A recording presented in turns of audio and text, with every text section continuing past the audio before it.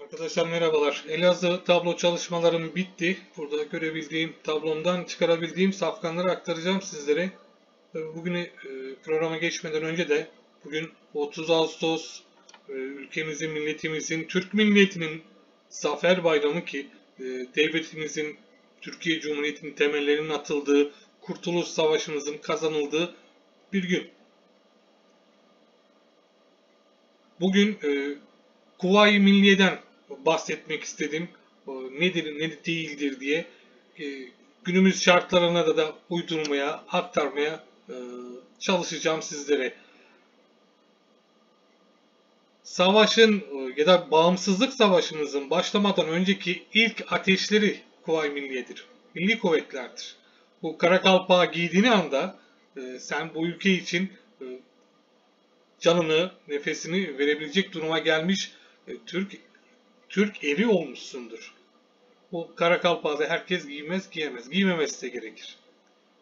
Anadolu'da yanan ateşlerdir. Her ilde, ilçede, köyde, kasabada Kuvayi Milliye Teşkilatları oluşur ve vatanını seven, e, canına bu uğurda e, feda eden insanlarımızdan oluşur.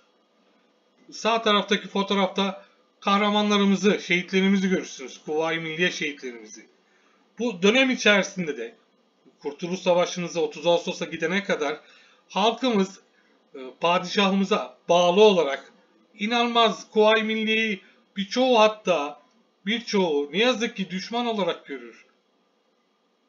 Ta ki Yunan birlikleri İzmir'e işgal edene kadar. Mustafa Kemal Atatürk ve arkadaşları çok uğraşırlar. Halkı ikna etmeye bu süreçte. Kimi ikna olmaz? Çünkü o zaman hala padişahın çok yaşacılar ağırlıklı olarak çoktur. Şeyhülislam'ın etkisi hala çok fazladır Anadolu halkının üzerinde. Ancak ancak halkın tamamı İzmir'in işgal edilmesiyle padişahın bir İngiliz kuklası olduğunu öğrenmesiyle milli mücadelenin tam anlamıyla başlamasına sebep olur. Buradaki fotoğraftaki çok kişi bunlar sizlersiniz yani benim, sizsiniz, annemiz, babamız, dedemiz. Gene yaparız. Gene aynı şeyleri Allah göstermesin diyeceğim ama bu millet her zaman için bu savaşı vermiştir, vermeye devam eder. Bu topraklarda kahramanı çoktur, haini de çoktur. Eğer biz başımızı yastığa rahat bir şekilde koyup uyuyabiliyorsak bu insanların ecdadımızın, ceddimizin sayesinde, onların kahramanlıkları sayesinde, verdikleri hayat sayesinde, canları sayesindedir. Mustafa Kemal Atatürk'ümüzün selamını aldık, almaya devam ediyoruz. Ve son kuvvacık kalana kadar da bu ülke işgal edilemez. Ancak bugüne geldiğimde ne oluyor? Bugün ne oluyor peki? Milliyetçi bir partinin gözetimi altında. Yurdumun, ülkemin toprakları satılıyor arkadaşlar. Vatandaşlık veriliyor. Türk milletinin kanıyla suladığı bu topraklara parasıyla gelen vatandaşlığı alıp oturuyor. Ve ben bu insanların fotoğraftaki bütün insanların şu an için bile bakmaktan utanıyorum. Bu kadar ucuz olmamalı.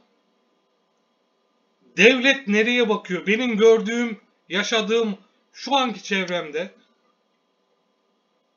bu mülteci denen bana kalırsa istila olarak gördüğüm olayları devlet niye hissediyor, niye izliyor? Ve bizler ne zaman bu olaylara dur diyeceğiz. Bazı soruların cevabını vermekte zorlanıyorum kendi adıma. Burada söylemekte de zorlanıyorum. Üzülüyorum. Ve ecdadımızdan da özür diliyorum. Evet geçelim. Birinci koşu şartlı 3 dişi 7 nolu safkan şartı uyan safkan kazanması normal sonuç 4 sürpriz 1-3 yazılır safkanlar 4 ile oynayacak arkadaşlar. İkinci koşu şartlı 4 3 yukarı İngilizlerde saf krom sürpriz yaparak kazanır 4 gene seriye devam edebilir. 5 çok sürprizde diğer atlar. Üçüncü koşu handikap 13 handikap 3 altılı başlangıcı 4 mutlak kuponlarınızda olsun. 1 ve 2 iyi derecelerle yarış kazanıp buradalar. Öncelikle yazılırlar. Çok sürprizde 5 dışına çıkmaması gerekir. Bu 4 attan biri kazanacak. En şanslı olanı 4 Ferit artısıyla 1 ve 2 birlikte düşünmenizi tavsiye ederim. Ganyan'la gelecek atı da 5 olur. Yine çok sürpriz at olarak gördüğüm bu. Dördüncü koşu maiden dişi ya bir kazanır ya hepsi olur. Ya buradaki favori gelir ya da diğer taraftaki favori gelecektir. Biri patlar. Gördüğüm bu oldu bu maiden dişilerde. Birin kazanması çok normal ama çıkmak isterlerse çıkmazsa bence sürpriz bitirir bu grup. Beşinci koşu şartlı 3. Vital şanslı durumda koşuyor. Mutlak kuponlarınızda olsun risk edilebilir.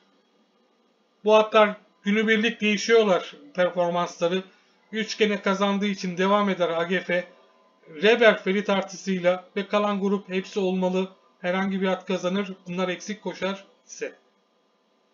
6. koşu handikap 16 dişi handikap 3'te 6 tek olur vaziyette günün teklerinden biri %7'sine bakmayın. Kazanması çok normal sonuç.